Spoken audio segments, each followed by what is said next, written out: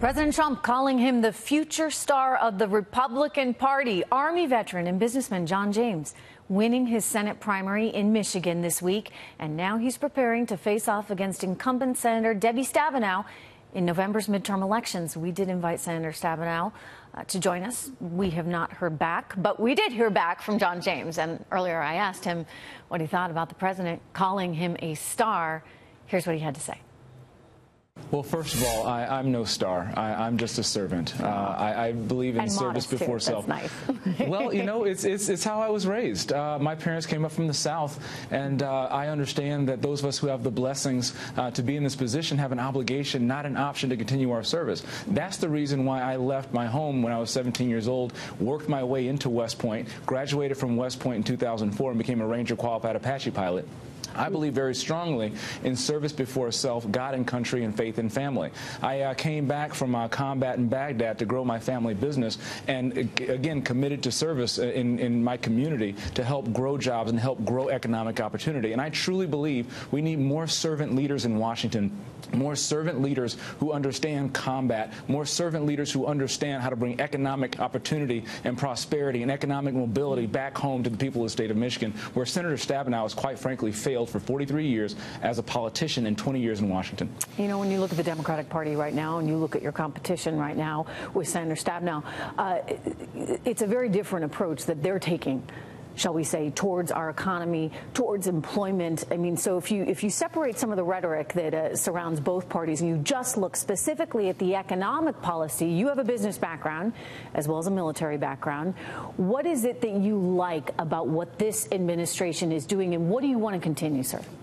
Well, uh, people care the most about the economy because it directly correlates to quality of life now, but also quality of future for our children. We need to make sure that we continue to grow our economy where Senator Stabenow has voted against things that help Michigan's economy, that help the American economy. For example? Like, the, like, for example, the Tax Cuts and Jobs Act that she voted against. That puts money back into the hands of people who've earned it, hardworking, middle class, and working class families right here in the state of Michigan. She voted against that. She supports the estate tax. She uh, is, is opposed the president and resisted as he's rolled back harmful regulations that incentivize capital investment and talent retention in the state. I'm looking forward to making sure we continue with this momentum of economic prosperity, continuing the 4.1% growth that we had last quarter and projecting 4.5% in the last quarter when the previous administration was trying to tell us that manufacturing jobs had gone away forever and that this was the Rust Belt and that we just had yeah. to be okay with 2%. That's yeah. not good enough for Michigan. How are the tariffs playing out in your state right now? Well, I'll tell you honestly, people are are, uh, are are scared um, because um, they are being fed a, a lot of um, rhetoric from the left uh, that this is damaging. Mm -hmm. I'm looking forward to working with our president to make sure that we negotiate better trade deals, uh, to make sure that we have free but fair trade. No one wants a trade war, but I have experience that Senator Stabenow has not had the occasion to develop in her 43 years as a career politician. I deal in taxes, tariff, and trade every single day in my automotive logistics company exporting uh, parts, not jobs jobs. I want to protect Michigan jobs, and I want to make sure that we continue to grow our economy by making sure that we have level reciprocal trade deals and we negotiate from position of strength. So you think if you threaten these tariffs that it, it gets you closer to free trade, I mean actual fair and free trade, and, and you got to use the leverage you have?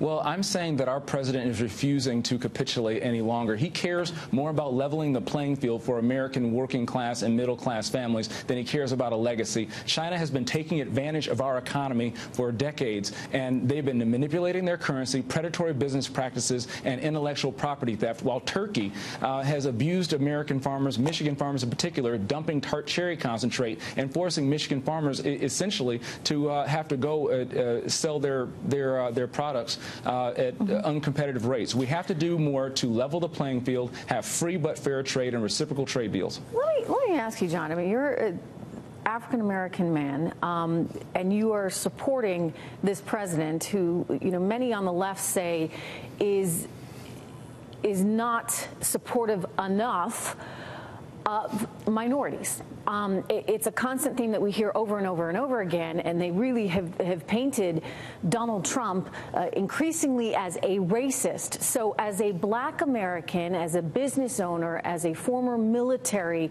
uh, member, how do you think about President Trump and, and some of his rhetoric.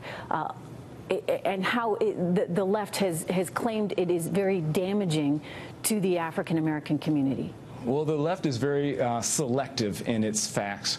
Um, well, the fact is that President Trump has tweeted favorably about me in the past uh, in the past few weeks. Uh, John James more than he has LeBron James. When Don Lemon says that our president is using race to divide this country, that's false. What our president has done is he's executed economic policies that have benefited all Americans, whether you're black, white, or yellow, or whatever.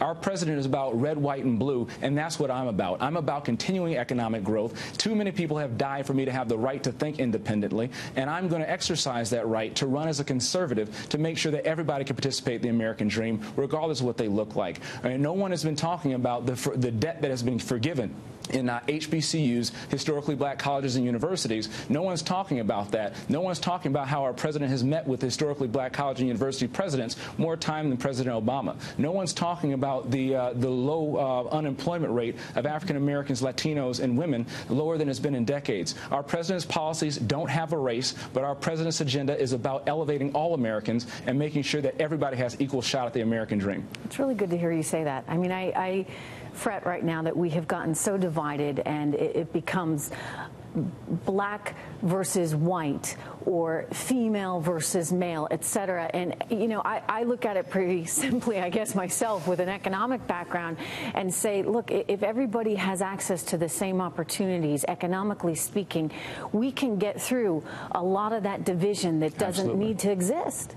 Absolutely. And Democrats are, are using, uh, I'll just say some Democrats are using um, uh, identity politics to peddle a brand of victimhood and dependency that has kept generations of people shackled to, uh, to economic uh, inopportunity. Debbie Stabenow has voted for policies that keep people dependent on the federal government. I'm intent on focusing on economic opportunity, focusing on K through 12 education, workforce development, vocational training, criminal justice reform, and rolling back harmful regulations that hurt entrepreneurs, families, family business owners uh, who are overwhelmingly uh, in, in the city of Detroit, Flint, Saginaw, overwhelmingly African American farmers are small family business owners. We need to get away from the identity politics and focus on the economic uh, inequality that people feel, that economic uh, insecurity that people feel to make sure that we're not giving people a, a, free free stuff, but we need to give them a fair shot. And I'm looking forward to working with our president and anyone else for that matter who can continue our economic recovery. Well, Mr. John James, I'm going to agree with the president and say you are